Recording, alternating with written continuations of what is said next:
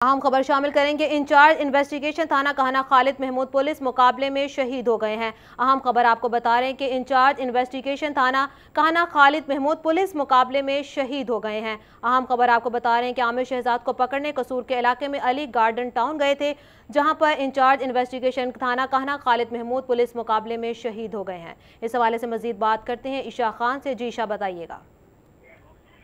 جی بالکل تھانہ تھانے کے انچارج انویسٹیگیشن خالد محمود وقت جو ہے وہ پولیس مقابلے کے اندر شہید ہو گئے ہیں۔ قصور کے علاقے، علی گارڈن کے اندر جو ہے وہ ملزمان کو پکڑنے کے لیے، اشتہاری ملزمان کو پکڑنے کے لیے گئے تھے۔ وہاں پر پولیس مقابلہ ہوا۔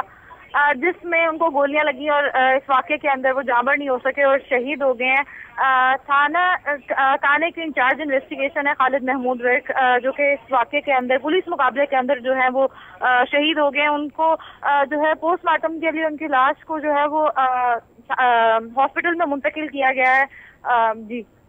جی بہت شکریہ عشاء خان تفصیلات سے آگاہ کرنے کا۔ آپ کو بتایا کہ انچارج انویسٹیگیشن تھانہ کہنا خالد محمود پولیس مقابلے میں شہید ہو گئے ہیں۔